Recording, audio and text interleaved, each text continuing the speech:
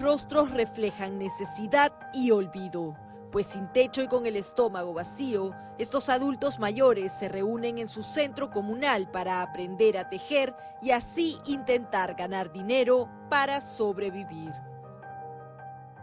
Yo tejo así y a veces vendo lo que, lo que sale, el, el precio de la lana. Encima estamos abandonados nosotros los adultos mayores. Nosotros somos 40 personas, hasta 60 somos de adultos mayores. Estamos abandonados, así como usted ve, señorita, todo.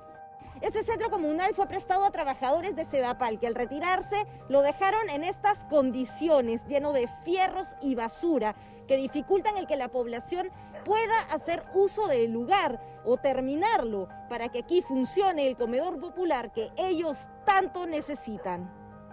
Ahí nos juntamos, a veces hacemos bolsita, ahí nos cocinamos para comer cuando estaba, todavía no venía la enfermedad. Así hemos estado, señorita. Así hacíamos, así nos, eh, nos hacíamos bolsitas, así nos hacíamos chanchitos, ya, nos hacíamos comidita y días, ¿no? Le temen al COVID-19, pues como lo indica este mapa de calor, el asentamiento humano 3 de mayo en San Martín de Porres, donde ellos viven, es una zona con alta presencia del virus, lo que sumado al hambre y frío los hace sumamente vulnerables. Nosotros estamos preocupados también eso y de repente a nosotros da también cuando estamos mayor edad ya también. Y ¿cómo se tenemos que morir nomás será. Ahora muchas cosas piden medicinas, no tenemos ni, para medicina. Quisiera que nos haga prueba o que me haga prueba, ¿no? Porque quién sabe que yo lo estoy teniendo o no. A ver si me pongo mal, me duele mucho. Martina Vega tiene 67 años, es sobreviviente de cáncer y mora una humilde casa que no tiene techo ni piso y tampoco agua potable. Cuando todavía no venía esa cuarentena, yo chatareaba, a veces cuando que salía mi sobrina me apoyaba a juntar chataritas. Vendía eso, pero cada un mes es así. Y con esa cosa sostenía pero hoy no puede salir a ganarse la vida. Ella no ha sido beneficiaria de ningún bono y la canasta de alimentos tampoco llegó a su vivienda, por lo que se siente desesperada por recibir ayuda. Alimentos más que nada, señorita.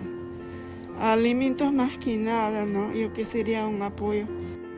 Al igual que ella, Herminia Sánchez tampoco ha recibido ayuda del Estado y sobrevive gracias a la caridad de sus vecinos.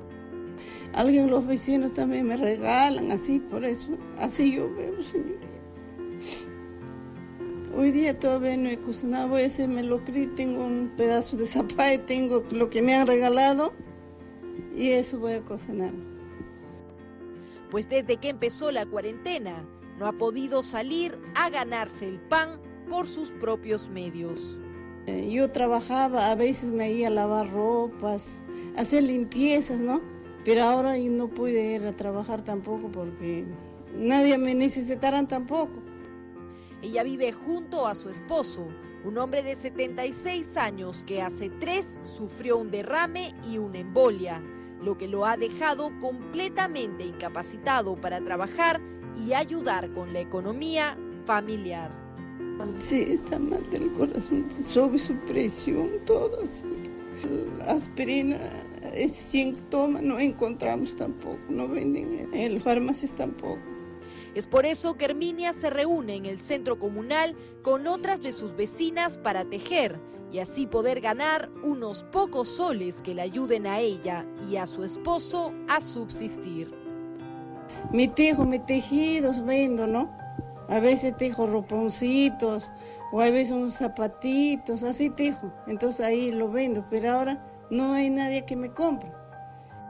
Son más de 50 los adultos mayores que sufren de hambre y frío a causa del abandono en este asentamiento humano de San Martín de Porres. Ellos requieren ayuda con urgencia para sobrevivir, pero a pesar de su avanzada edad, quieren ganarse el sustento con sus propias manos y es por eso que le piden a las autoridades que los ayude a limpiar y terminar su local comunal. Por favor, no nos olvide,